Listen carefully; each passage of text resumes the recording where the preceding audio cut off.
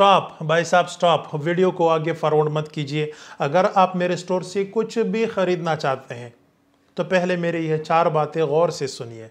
सबसे पहली बात, आप दुनिया की हर दुकान छोड़कर मेरे पास आए हैं तो इसका मतलब ये है कि आप मेरे ऊपर ट्रस्ट करते हैं अतमाद करते हैं।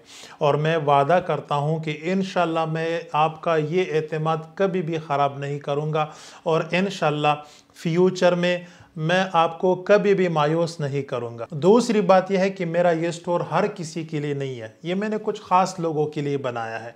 अगर आप इसलिए मेरे स्टोर पर आए हैं कि यहाँ पर मुझे कोई डिस्काउंट मिल जाएगा, कोई सस्ती चीज़ मिल जाएगी तो मेरे भाई माजरत के साथ आप गलत जगह पर आए हैं। लेकिन अगर आप उन लोगों में से हैं जो ये सोचते हैं कि सौ, दो सौ रुपये चीज़ महँगी हो, लेकिन क्वालिटी अच्छी मिल जाए प्रीमियम क्वालिटी मिल जाए तो मेरे भाई मैं आपको वेलकम करता हूँ। आप मेरे सही कस्टमर हैं। तीसरी बात पाकिस्तान में कोई भी दुकानदार इस्तेमाल शुदा चीज़ वापस नहीं करता। मैं करता हूँ मैं इस्तेमाल शुदा चीज़ भी वापस करता हूँ। फॉर एग्ज़ाम्पल मैं आपको अपना ये शहद सेंड करता हूँ। आप इससे एक बार जी भर के नाश्ता कीजिए। वैसे ज़्यादा मत कहिए क्योंकि मैं मलक रियाज नहीं हूँ लेकिन आ, आप इससे एक बार जी भर के नाश्ता कीजिए। अगर आपको पसंद नहीं आता तो इसके ऊपर ढक्कन टाइट कीजिए और मुझे वापस कीजिए। मैं आपको आपका पूरा पेमेंट वापस कर दूँगा। मैं आपसे ये भी नहीं पूछूँगा कि आप क्यों वापस कर रहे हो। मैं आपके साथ कोई बहस नहीं करूँगा। ठीक है जनाब? और अगर आप चीज़ वापस नहीं करना चाहते, आपका कोई छोटा मोटा कंप्लेन है तो ये मेरा व्हाट्सअप नंबर है। इस पर मुझे वॉइस मैसेज कीजिए और इन मैं आपका शिकायत 24 घंटे के अंदर अंदर इन हल करूँगा और मुस्तबिल में आपको कभी भी शिकायत करने का मौका नहीं दूँगा। तो कुल मिलाकर बात यह है कि जिस तरह आप अपने करीबी रिश्तेदार के ऊपर अतमाद करते हैं, अपने दोस्तों के ऊपर अतमाद करते हैं तो मुझे भी अपना करीबी रिश्तेदार समझ लीजिए, अपना भाई समझ लीजिए और मेरे स्टोर से जो है ना बग़ैर किसी खौफ, किसी शक के अपना शॉपिंग कीजिए। चौथी बात, आप मेरे स्टोर से कुछ भी सिर्फ़ एक मिनट में ख़रीद सकते हैं। आपने सिर्फ़ दो स्टेप लेने हैं। सबसे पहला स्टेप आप अपना पेमेंट मुझे ट्रांसफ़र कीजिए। यह है मेरा जेस कैश यह है मेरा इजी पैसा नंबर दूसरा स्टेप यह है कि अपना नाम, मुकम्मल एड्रेस और फ़ोन नंबर मुझे सेंड कीजिए। इन बहत्तर घंटे के अंदर अंदर आपको आपका शिपमेंट मिल जाएगा। लेकिन ये जो बहत्तर घंटे में कह रहा हूँ, ये 90 परसेंट है। कभी कभार एक दो दिन लेट भी हो सकता है, क्योंकि कभी कभार मोटरवे बंद होता है फोक की वजह से, कभी इसे एहतजाज की वजह से फ़्लाइट्स भी डिले होते हैं। तो मेरे भाई, उसके लिए पहले से माजरत हुआ हूँ। बाकी 90 परसेंट इनशाला आपको बहत्तर घंटे के अंदर अंदर मिलेगा। अब मैं तफसील के साथ आपको बताता हूँ कि मैं क्या क्या चीज़ बेचता हूँ और इसकी क्वालिटी क्या है। वैसे अगर आपके पास टाइम शॉर्ट है, कम है तो मैं आपके लिए वीडियो आसान कर देता हूँ। शहद के लिए वीडियो यहाँ से स्टार्ट कीजिए ब्लैक टी और ग्रीन टी के लिए वीडियो यहाँ से स्टार्ट कीजिए। सलाजीत के लिए यहाँ से स्टार्ट कीजिए, ज़ाफ़रान के लिए यहाँ से स्टार्ट कीजिए और देसी घी के लिए यहाँ से स्टार्ट कीजिए। अभी आपके लिए काफ़ी आसान हुआ ना? तो सबसे पहले बात करते हैं शहद की। मेरे भाई शहद के बारे में आज तक आपने जो कुछ भी सुना है ना, उसे भूल जाइए। ठीक है? आपने शायद के बारे में जो कुछ भी आपके मेमोरी कार्ड में है, उसे फॉर्मेट कीजिए। और मैं जो आपको बताने वाला हूँ, वो बिल्कुल एक नंगा सच है। उसमें कोई झूठ नहीं है, ठीक है? और उसे दुनिया में कोई भी चैलेंज नहीं कर सकता। तो मैं आपकी सारी गलत फहमियाँ शहद के बारे में जितनी भी है, वो सारे के सारे रफ़ा करने वाला हूँ। और इन आपको पता चल जाएगा कि मैं क्या चीज़ बेच रहा हूँ। सबसे बड़ी गलत जो लोगों को है, शहद के बारे में, वो बड़ी मक्खी और छोटी मक्खी का है। ये छोटी मक्खी और बड़ी मक्खी, इसका कोई मतलब नहीं है। मैं आपको थोड़ा सा एक एग्ज़ाम्पल के साथ आपको समझाता हूँ। पुराने ज़माने में हमारे अबाव अजदाद एक गाय पालती थी। उसका दूध कितना होता था? एक टाइम में वो कितना दूध देती थी? ज़्यादा से ज़्यादा पाँच किलो, चार किलो, इससे ज़्यादा तो नहीं होता था ना? आजकल साहिवाल की गाय आ चुकी है, वो एक टाइम में दस किलो दूध देती है। तो आप मुझे बताइए कि वो जो पुरानी गाय थी और आज की गाय में, साहिवाल वाले गाय में क्या फ़र्क है? कोई फ़र्क है? कोई फ़र्क नहीं है। वो भी चारा का के दूध बनाती थी और ये भी चारा का के दूध बनाती है। ठीक है? तो यही फ़र्क छोटी मक्की और बड़ी मक्की में है। इससे कोई फ़र्क नहीं पड़ता कि शहद छोटी मक्की का है या बड़ी मक्की का। दूसरी जो गलत फहमी है लोगों को, वो जंगली मक्की और फ़ार्मिंग की मक्की में है। मेरे भाई, इन दोनों में भी कोई ख़ास फ़र्क नहीं है। थोड़ा बहुत है वो मैं आपको आगे बताऊँगा, लेकिन कोई ख़ास फ़र्क नहीं है। मिसाल के तौर पर वही गाय वाला मिसाल मैं दूँगा कि एक गाय को आप घर पर पालते हैं, दूध देती हैं आपको, और दूसरी जो है ना वो बाहर जाती है घास फूस का कि आपको दूध उससे मिलता है। तो दोनों में कोई ख़ास फ़र्क नहीं है। तीसरी गलत फहमी लोगों को ये है कि हम जो फ़ार्मिंग की मक्की है, हम उसको चीनी खिलाते हैं। और लोग मुझसे पूछती भी हैं, यहिया भाई, क्या ये सच है? और उसका जवाब ये है कि हाँ ये बिल्कुल सच है। पूरी दुनिया खिलाती है, चाहे वो अमेरिका में हो, चाहे वो ऑस्ट्रेलिया में हो एशिया, जनूबी एशिया, दुनिया की किसी भी कोने में हो, अगर फ़ार्मिंग की मक्की है तो उसको चीनी खिलाया जाता है। लेकिन पूरी बात सुन लीजिए कि हम क्यों खिलाते हैं। मक्की जो शहद बनाती है, वो ये सोच कर नहीं बनाती कि मैं ये जो शहद बना रहा हूँ, इसकी, इससे हाजी साहब जो है नाश्ता करेगा उससे चौधरी साहब नाश्ता करेगा, उससे यहिया खान नाश्ता करेगा। वो ये सोच कर नहीं बनाते। वो ये सोच कर बनाती है कि जब मेरे ऊपर सख्त टाइम आएगा, बाहर पूल नहीं होंगे तो मैं क्या कहूँगा अपना यही शहद कहूँगा मक्की ये सोच कर शहद बनाती है। ठीक है? अब जब उसने शहद बनाया तो वो शहद हमने उठा लिया, बॉटल में डाल के आप तक पहुँचाया, आपने उससे नाश्ता किया। अब मक्की के ऊपर सख्त टाइम आया, बाहर पूल नहीं है। सर्वाइवल के लिए वो क्या खाएगी? तो हम मक्की को ज़िंदा रखने के लिए, अब उसके पास तो शहद नहीं है, उसने जो शहद बनाया था, वो तो हमने हासिल कर लिया ना। हम इंसान है, थोड़ा बहुत जुल्म तो करते हैं तो वो शहद सारा का सारा हमने उठा लिया उससे तो वो क्या खाएगी? तो ज़ाहिर सी बात है, उसको ज़िंदा रखने के लिए चीनी खिलाते हैं, चीनी का सिरप खिलाया जाता है उसको, ताकि वो ज़िंदा रह सके। सर्वाइवल के लिए। और एक महीना, दो महीना खिलाते हैं क्योंकि उस टाइम कोई पूल नहीं होता। मतलब बाहर सारा का सारा ख़ज़ा होता है। कहीं पर भी पूल नहीं मिलता। तो उसको सर्वाइवल के लिए खिलाया जाता है। जब पूलों का मौसम आता है, वापस जो है ना, उस बॉक्स को साफ़ करते हैं। वो मक्की उड़ती है पूल के ऊपर और पूल से शहद हासिल करती हैं और अपने छत्ते में उसको बनाती है। तो कुल मिलाकर बात यह है मेरे भाई कि हम चीनी खिलाते हैं। इसलिए खिलाते हैं ताकि वो ज़िंदा रह सके। उसके पास जो कुछ था, वो तो हमने खा लिया। ज़िंदा रह सके, इसलिए हम उसको चीनी खिलाते हैं। मक्की को अगर आप सौ रुपये की चीनी देते हैं तो वो आपको दस रुपये का शहद भी नहीं दे सकता। तो आप मुझे बताओ यार, दुनिया का कौन बेवकूफ़ होगा जो मक्की को सौ रुपये की चीनी खिलाए और उससे फिर दस रुपये के शहद हासिल करे? तो कुल मिलाकर बात यह है मेरे भाई, कि हम मक्की को चीनी खिलाते हैं ताकि वो ज़िंदा रह सके। इसलिए नहीं खिलाते कि वो हमें शहद बना कर दे। चौथी गलत फहमी लोगों को ये है, अक्सर लोग मुझे मैसेज करते हैं यह भाई, मुझे कोई अच्छी क्वालिटी का शहद सेंड करो, मैंने अपना वज़न कम करना है। तो मेरे भाई, शहद से वज़न कम नहीं होता। अगर आपने वज़न कम करना है तो कार्बोहाइड्रेट्स को कम करना है। उसको यूज़ नहीं करना, मीठी चीज़ को कम करना है, तभी आपका वज़न कम होगा।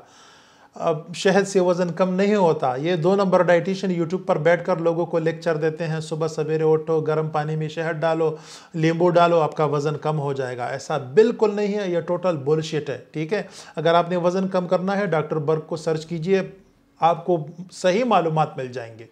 तो कुल मिलाकर बात यह है, मेरे भाई कि शहद से वज़न कम नहीं होता। अल्लाह ताला की बहुत बड़ी नेमत है ये। मैं इससे इनकार नहीं कर रहा। एलर्जी के लिए फ़ायदेमंद है, मैदे के लिए बहुत अच्छी चीज़ है, स्किन के लिए बहुत अच्छी चीज़ है, लेकिन इससे वज़न कम नहीं होता। पाँचवीं गलत फहमी वो ये है कि लोग मुझे अक्सर मैसेज करते हैं, यहिया भाई, प्लीज़ मुझे कोई अच्छी क्वालिटी का शहद सेंड करो, मेरे माजी बीमार है, शुगर के बीमार है, मैंने उसको देना है। वालद साहब बीमार है, शुगर का मैंने उसको देना है।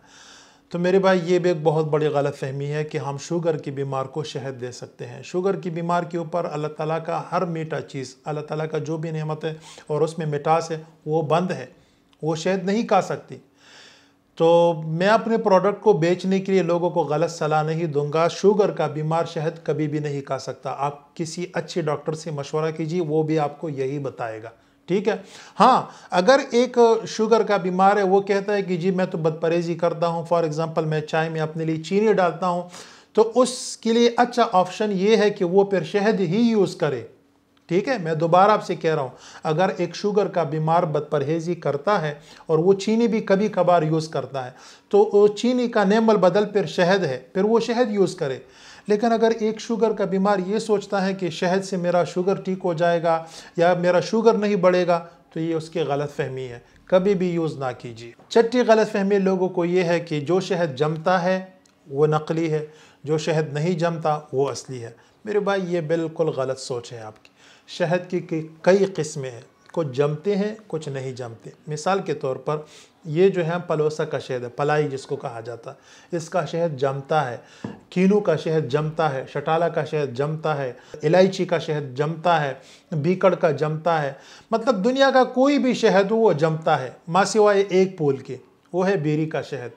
बेरी का शहद 99 परसेंट नहीं जमता, ठीक है? तो ये भी भूल जाइए कि मतलब जो नकली शहद होता है, वो जमता है और असली होता है वो नहीं जमता।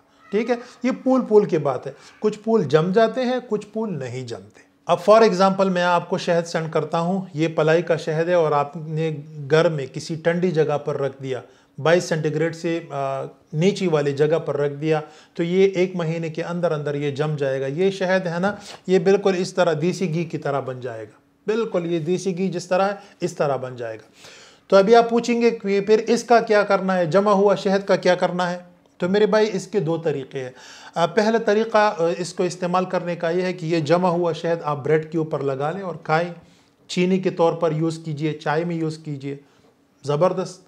पूरे यूरोप में यही यूज़ किया जाता है। ये जमा हुआ शहद वहाँ पर महँगा बिकता है।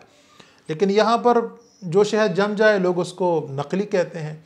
और आप ये भी कर सकते हैं कि ये जो जमा हुआ शहद है इसको आप गर्म पानी में रखिए। इस तरह इसको गर्म पानी में डुबो के रखिए और ज़्यादा गर्म ना हो क्योंकि ये प्लास्टिक का बोतल है, ये पे गल जाएगा। थोड़ा सा गर्म पानी हो, उसमें रख दीजिए।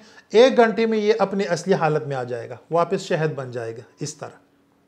लेकिन ये तरीक़ा मैं रिकमेंड नहीं करता। उसकी वजह मैं आपको बताता हूँ, जब आप इसको गर्म पानी में रखते हैं ना तो कभी कभार इसमें प्लास्टिक भी पिघल जाता है, जो कि सेहत के लिए नुकसानदेह है।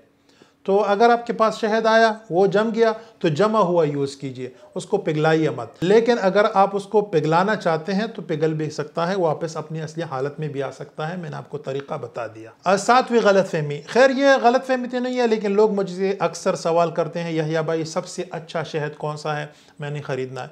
मेरे भाई, शहद सारे के सारे एक ही जैसे होते हैं। अल्लाह ताला की नेमत है मक्की बनाती है पुल उसे बनाती है, और हर पुल का अपना अपना फ़ायदा है। ठीक है?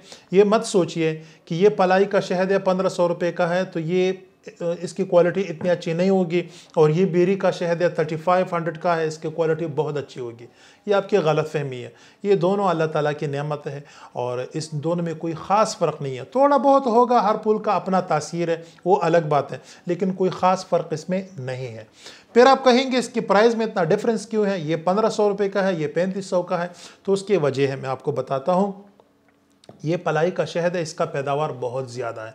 पलाई का फूल पाकिस्तान में हर जगह पाया जाता है। ये बेरी का फूल है, ये बहुत कम जगहों पर पाया जाता है, नायाब है तो इस वजह से ये महँगा है, डिमांड एंड सप्लाई का खेल है। दूसरी बात दूसरी बात यह है कि ये जो बेरी का शहद है पाकिस्तान का, ये पूरी दुनिया में नंबर वन है, पूरी दुनिया में, पूरे अरब कंट्रीज़ में यही यूज़ किया जाता है। अरब इसको बहुत पसंद करते हैं। तो जब अरब रियाल देते हैं मतलब अच्छे पैसे देते हैं तो ये पाकिस्तान में कौन बेचता है? ज़ाहिर सी बात है, सारा का सारा एक्सपोर्ट क्वालिटी माल है और जो एक्सपोर्ट क्वालिटी माल होता है, वो महँगा होता है। बस ये फ़र्क और कोई फ़र्क नहीं है। तो अभी आप ये भी पूछेंगे कि मुझे कौन सा लेना चाहिए तो मेरे भाई, ये भी मैं आपको नहीं बता सकता, क्योंकि हर किसी का अपना अपना टेस्ट होता है। हो सकता है आपको पलोसा का शहद पसंद आ जाए, आप कहो, यार, क्या शहद है? और बीरी का शहद पसंद ना आए आपको। हो सकता है आपको बीरी का शहद बहुत पसंद आए और पलोसा का ना आए तो हर किसी का अपना अपना टेस्ट है, अपना अपना पसंद है। एक बात मैं आपको बता सकता हूँ कि जब आप बेरी का शहद खाते हैं एक बार दो बार तीन बार हो सकता है स्टार्ट में आपको अच्छा ना लगे। लेकिन जब आप इसको चार पाँच बार खा लेते हैं ना और इसका टेस्ट एक बार आपको डेवलप हो गया फिर दुनिया का कोई शहद आपको अच्छा नहीं लगेगा। आप कहोगे कि यार शहद है तो बस बीरी का है और कोई नहीं है। तो ये है जनाब ब्लैक टी मतलब चाय की पत्ती जो आप अपने घर में यू, रोज़ यूज़ करते हैं। तो यहाँ पर मैंने कुछ लिखा है कि ये प्रोडक्ट हर किस्म मसनू रंग केमिकल और मिलावट से पाक है। बाज़ार में जो चाय आपको मिलती है, उसमें होता क्या है? उसमें सबसे पहला काम मिक्सिंग होता है। ज़ाहिर सी बात है, जिस रेट पर ये लोग बेचते हैं ना बाज़ार में, इस रेट पर तो कीनिया में भी नहीं मिलता, ठीक है? तो इसके रेट इतनी नीची क्यों है? उसकी वजह मिक्सिंग है, कि इसमें A grade B grade C grade D grade ये सारा माल जो है ना मिक्स करके आपको बेचा जाता है। सबसे पहली बात। दूसरी बात, आपने कभी नोट किया होगा कि आप थोड़ा सा चाय पतीले में डालते हैं और इसका कलर एकदम फैल जाता है। आप खुश होते हो, वाह, क्या चाय है, क्या कलर है इसकी? बहुत खुश होते हैं। लेकिन मेरे भाई, आपको मैं बताऊँ, वो मसनू कलर होता है, जो सेहत के लिए बहुत नुकसानदेह है। कैंसर तक उसके कलर से बन सकता है।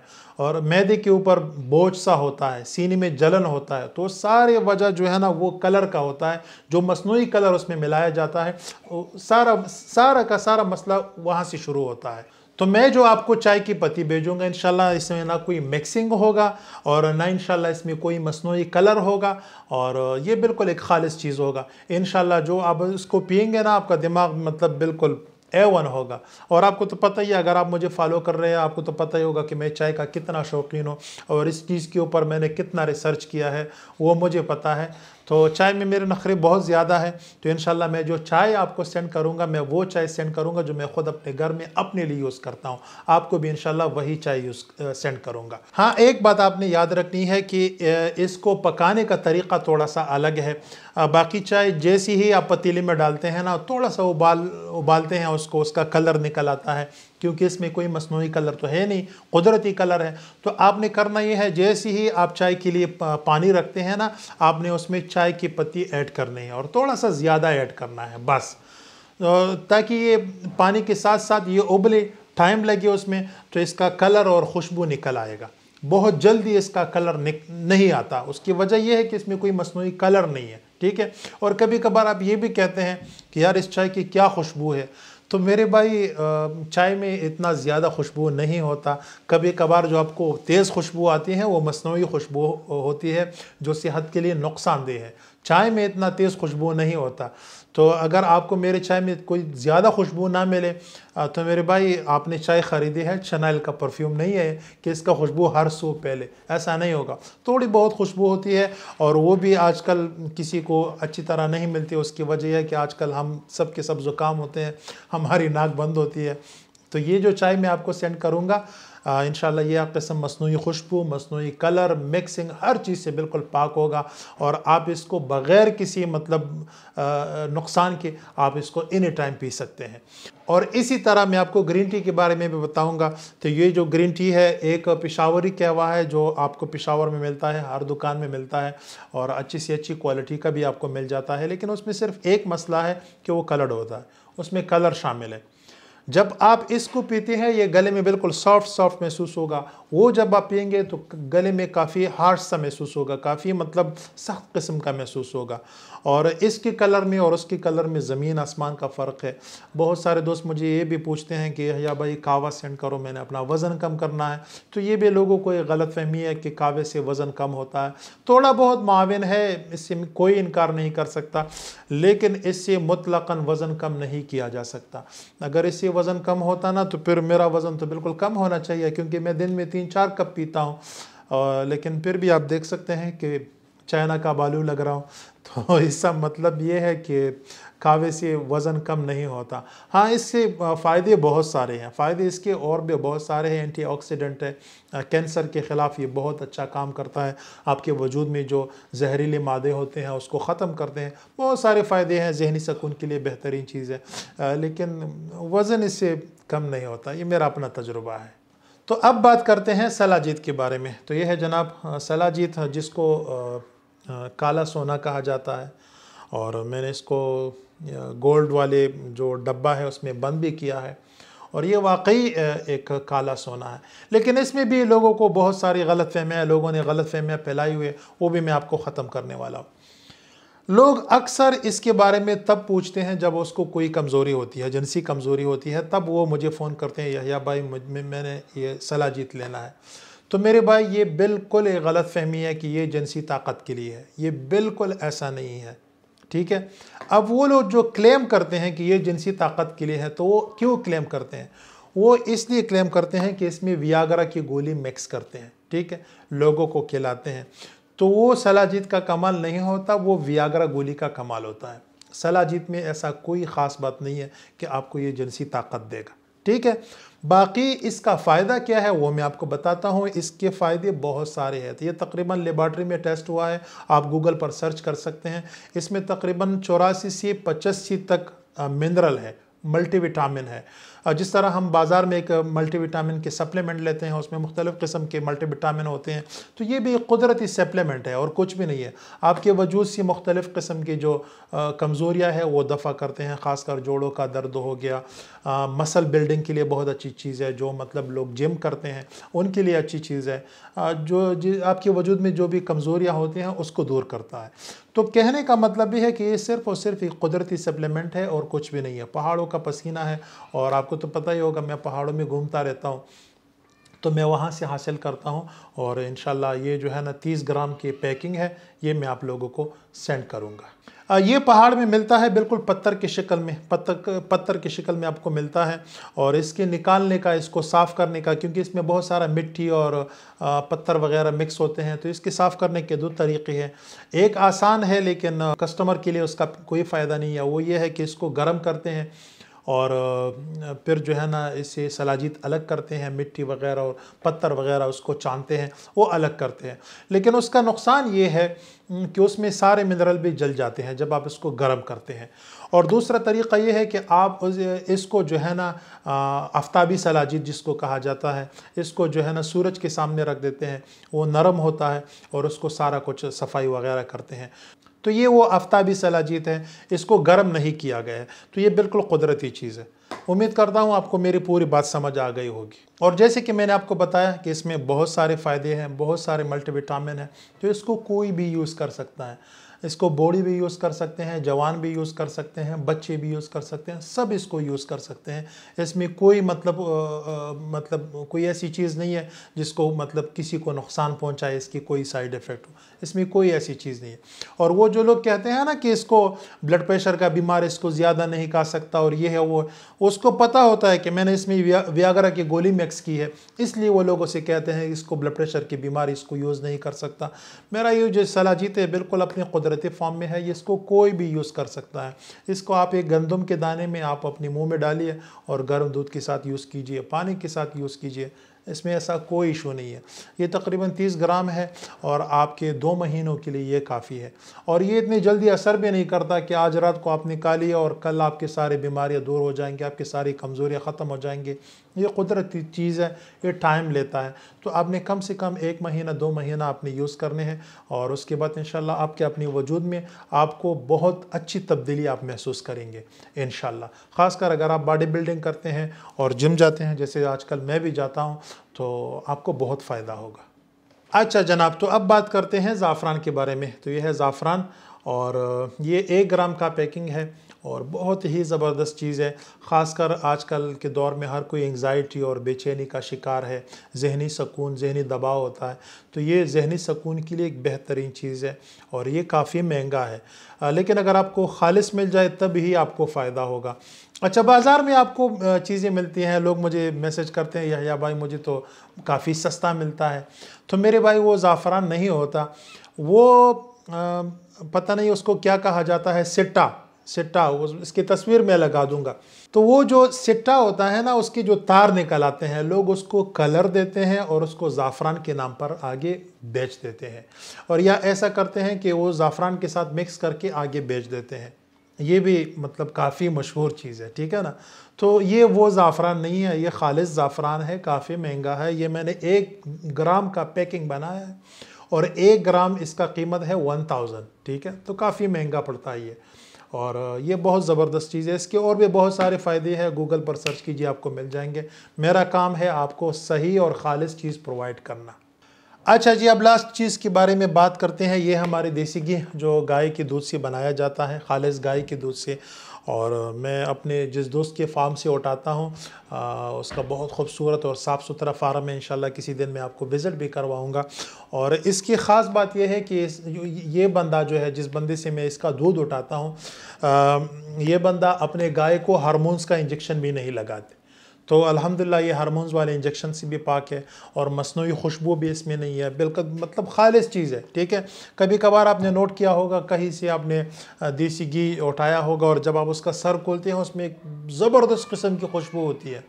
तो मेरे भाई कुदरती जो है ना, जो घी होती है, उसमें इतनी खुशबू नहीं होती, उसमें मसनू खुशबू ऐड किया जाता है आपको धोखा देने के लिए, आपको मुतासर करने के लिए।